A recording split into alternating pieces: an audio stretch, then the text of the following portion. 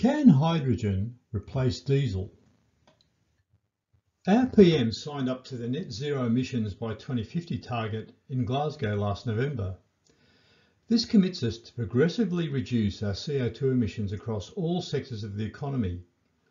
In Australia, emissions from transport have been increasing for the last two decades and now contribute 19% of our total CO2 emissions. On the path to zero, Many European governments will ban the sale of hydrocarbon-fueled road vehicles between 2030 and 2040, and there are plans to also decarbonise rail.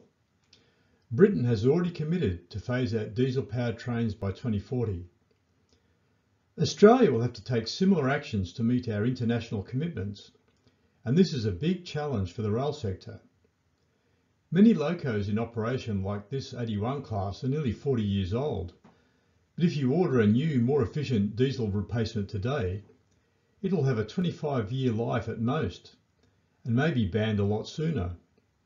An alternative is urgently needed.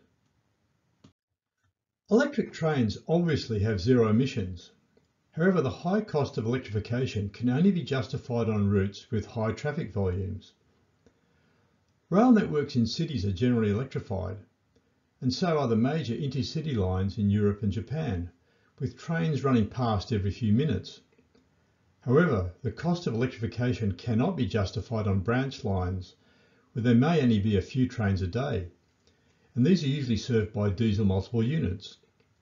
In Australia, nearly all trains outside the state capital cities are powered by diesel.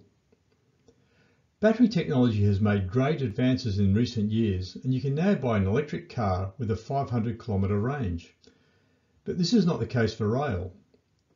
In Europe, battery electric multiple units like this Bombardier Talent are now entering service. However, axle load and space limit battery capacity and hence range to under 100 kilometres.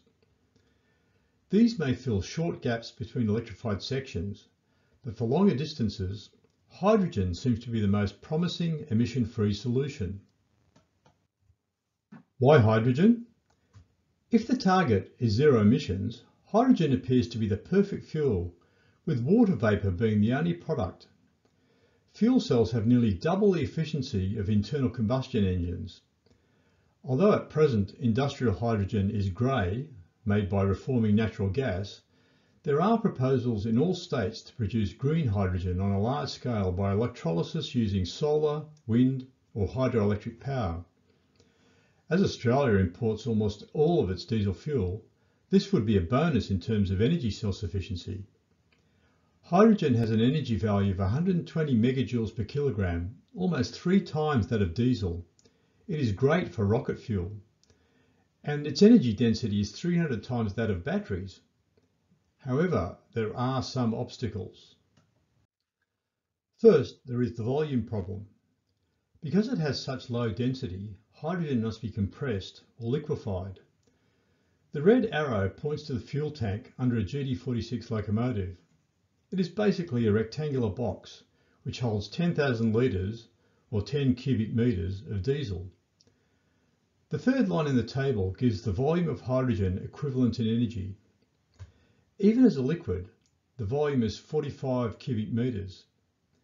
At 35 megapascals, the volume of 136 cubic meters is roughly the size of the whole locomotive above the underframe. By the way, 35 and 70 megapascals are 350 or 700 bar respectively, or 5,000 and 10,000 psi in the old units. Next is the high pressure problem. Recent automotive applications have used compressed gas at 35 or 70 megapascals. These are very high pressures and require specialised vessels, generally made with wound carbon fibre. Even so, these must have thick walls and small diameters. Multiple tanks are required for larger volumes. The locomotive tank in the previous slide is made from steel plate and weighs under 3 tonnes but holds nearly three times its weight in fuel. A tank for compressed hydrogen is much heavier than the fuel. The US Department of Energy sets a target of 6% weight for weight, i.e. a tank weighing 100 kilograms holds only 6 kilograms of hydrogen. The Toyota Mirai tanks hold 5 kilograms and weigh 88 kilograms. Scaling up for a locomotive, tanks to hold the energy equivalent of 10,000 litres of diesel would weigh around 47 tonnes. Liquid hydrogen is denser, but at a temperature of 20 degrees above absolute zero, or minus 253 C. You can tell the guy in the picture is not decanting liquid H2 into his tank because he's not wearing gloves. But seriously, liquid hydrogen is extremely hazardous and requires special equipment to handle and store it, making it unattractive for rail transport. A liquid hydrogen tank cannot be a rectangular box and needs to be heavily insulated. Even so, gas will continually boil off with a loss of 1 to 2% per day. It must be safely vented to atmosphere to prevent pressure rise. Furthermore, there is a big upfront energy penalty as the work required to liquefy hydrogen is about one third of its energy content, and it requires a large capital intensive facility. Transporting diesel fuel is relatively simple. It is more difficult with compressed hydrogen. Any railway filling point is likely to be some distance from the source of hydrogen production.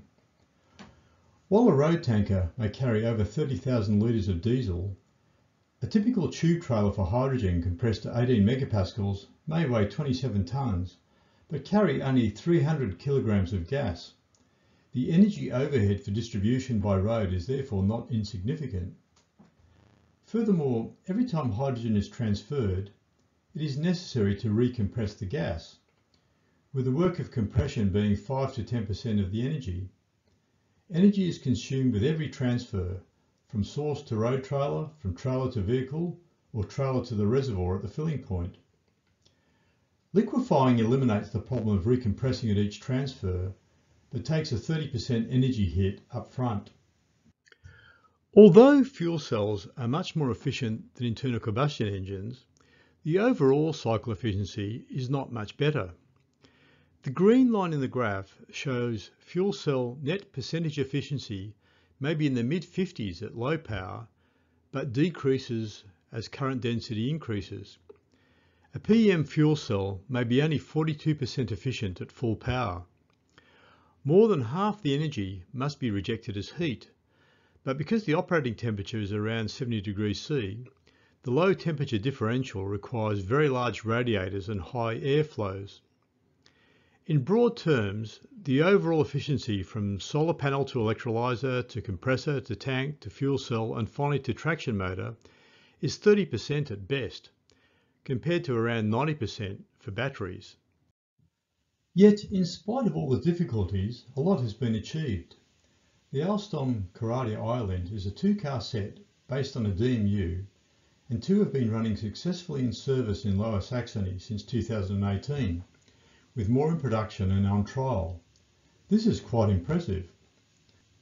Note that a 335 kilowatt diesel engine is replaced by fuel cells with 200 kilowatt capacity and batteries provide the peak power.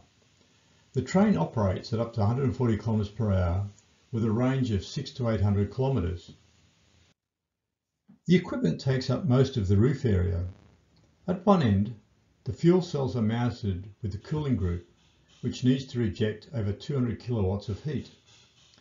24 carbon fibre reinforced vessels with 4,000 litre volume are mounted in the middle section. There are at least a dozen projects in Europe and Asia working on trains conceptually similar to the iLint. In the UK, the University of Birmingham and Porterbrook converted a Class 319 EMU which ran on the main line in September 2020. This admittedly had the equipment mounted inside the passenger saloons. Several other British operators are working on hydrogen conversions with equipment under the floor. The roof would be preferable to avoid trapping any leaking hydrogen, but bridge and tunnel clearances in Britain do not allow roof-mounted equipment. Could hydrogen replace diesel multiple units in Australia? Victoria has the largest DMU fleet with the VLocity trains running between Melbourne and the regional towns. In New South Wales, DMUs serve the Hunter Valley and the Southern Highlands. Two of the longer trips are Melbourne to Albury and Sydney to Canberra, both of which are 320 kilometres one way. A train like the iLint could operate these as a return service with refuelling only at one end. The XPT services, which connect Sydney to Brisbane and Sydney to Melbourne, are each nearly thousand kilometres. My preliminary simulations indicate that these might be possible with this technology, with refuelling at each end. However, these are about the limit. High-speed services need continuous high power. The iLint relies on batteries to provide maximum power, with the fuel cells providing a constant average power, recharging the batteries. This is okay for the duty cycle of the regional train with many stops, but not for long distances with constant high power. To go even 50% faster would require quadrupling the fuel cells and doubling the fuel. There are several shunting locomotive projects underway in Europe and the USA. Again, batteries provide peak power with the fuel cells charging the battery in between. However, a mainline locomotive must be capable of providing maximum power for hours at a time, like when climbing long grades. The fuel cells to provide say 3000 kilowatts of continuous power could easily fit into a locomotive and would be less than half the weight of the engine and generator. However, the challenge is how to store the fuel as the following examples will show. The first case study is Hunter Valley Coal Service. Three locomotives on a train running from the furthest mine at Ulan each use around 4,500 litres on a round trip and so can make two trips on a 10,000 litre tank. If one round trip is considered as a minimum requirement, the energy equivalent of 5,000 litres would be needed, or 1150 kilograms of hydrogen. Remember that figure. For compressed gas at 35 megapascals, the volume required is 50 cubic metres. This could be carried in 36 400 millimetre diameter carbon fibre tanks on a 20 metre flat wagon which, if you use your imagination, would look something like this. With one wagon for each locomotive, you lose four coal wagons as the train length is fixed. Another consideration is supply of hydrogen to the fill point. The Port of Newcastle sees around 60 coal trains per day, which require more than 500 tube trailers per day, so road transport becomes somewhat impracticable. A pipeline from the source would probably be necessary. If the 1150 kilograms was liquid hydrogen, the volume would be 16,000 litres, but it would still be hard to fit on a locomotive as it would not be a rectangular box, but a pressure vessel with thick insulation. However, a single tanker wagon 20 metres long could hold 7 tonnes, more than enough fuel for three locomotives for two days. However, an additional complication is that due to the problems of such low temperatures, it would not be desirable to transfer liquid hydrogen in hoses from the wagon through the locomotives. Instead, the liquid hydrogen must be vaporized before transferring it. In North America, where LNG is used in some operations, hot water is transferred from the locomotive to the tanker for this purpose. Intermodal services would require bigger tanks than coal service. For example, running from Melbourne to Brisbane requires around 12,000 litres per locomotive. 2,760 kilograms of hydrogen would be the equivalent energy, and one liquid hydrogen tanker would be sufficient for two locomotives. Compressed gas would require two fuel wagons per locomotive, which begins to become a bit impracticable. Furthermore, no locomotive can perform the trip from Adelaide to Perth without refuelling, and a diesel tanker wagon with inline refuelling is often used to provide additional capacity, as on the SCT train in the picture. About four liquid hydrogen tankers would be needed to provide the equivalent energy. It would be great if there was a way to squeeze more hydrogen into a tank, and although it seems very counterintuitive, one way is to fill the tank with metal first. Hydride storage pushes hydrogen atoms between the atoms in a metal lattice, offering a volume density nearly double that of liquid hydrogen. High pressures and temperatures are generally required, but more moderate pressures and temperatures have been demonstrated in work at the University of New South Wales. This method has significant safety advantages as well. The 1150 kilograms above could be stored in a volume of 8,700 litres, This volume is more in keeping with the size of an existing locomotive fuel tank, although it would still need to be in tubes pressurised to around 10 megapascals, occupying more space than a rectangular box. However, at 57 tonnes, the weight of hydride is almost half that of a typical locomotive. There is a trade-off between volume and weight. Ammonia is a compound of hydrogen and nitrogen, i.e. NH3. While generally made from methane using the Haber-Bosch process, it can be made from air and hydrogen from renewables. Ammonia can be used directly as a carbon-free fuel or as a means to store and transport hydrogen. While a gas at ambient temperature, it can be liquefied at minus 33 degrees C using conventional refrigeration equipment. Liquid ammonia stores hydrogen more densely than liquid hydrogen, 122 versus 72 kilograms per cubic metre. Ammonia may become the chief means of transporting bulk hydrogen, as it is also much easier to handle than liquid hydrogen, and the energy required to produce ammonia and then crack it to recover the hydrogen is similar to that required to liquefy hydrogen. The CSIRO has demonstrated technology to crack ammonia to provide hydrogen at an automotive filling station. If this could be adapted to fit on board a locomotive, it would allow the use of fuel cells with hydrogen carried as ammonia, requiring much less volume than compressed gas or liquid hydrogen. Alternatively, ammonia can be used directly as a fuel for an IC engine. However, ammonia has very poor auto-ignitability, and most trials have used diesel as a pilot fuel. Nevertheless, MAN has already developed a ship engine which runs purely on ammonia. The high pressures and temperatures required for ignition result in significant NOx emissions, which require catalytic aftertreatment, increasing the complexity and the requirement for space. Lower temperatures reduce NOx, but incomplete combustion leads to ammonia in the exhaust, which is toxic. Ammonia has around 43% the energy content of diesel. Considering the Hunter Valley coal locomotive case, 14,600 litres of liquid ammonia would give energy equivalent to 5,000 litres of diesel. Again, this could not be in a rectangular box, but the requirements would be much simpler than for hydrogen.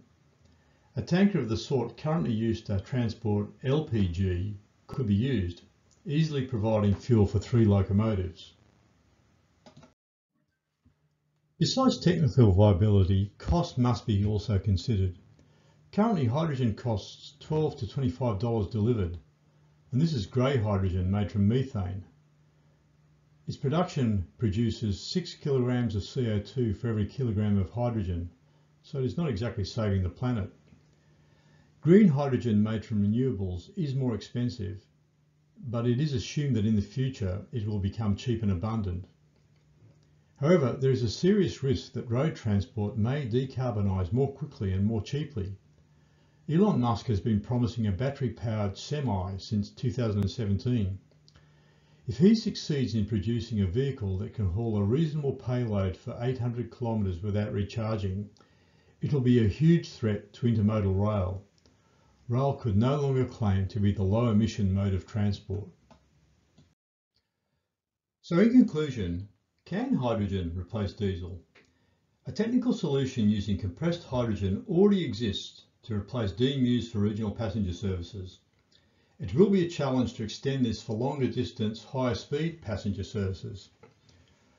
Freight trains will probably require tanker wagons, but neither compressed gas nor liquid hydrogen are easy solutions.